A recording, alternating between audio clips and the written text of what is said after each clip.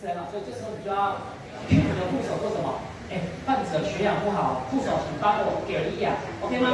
好，至于怎么给氧，选择什么器材，氧气治疗呢，就会再讲到，好，我们就省略。所以 A、B 没有问题的，往下走，A、B 再是什么？C 循环，OK，好，他有呼吸，所以我们要去先去摸什么？检查脉搏，来摸两。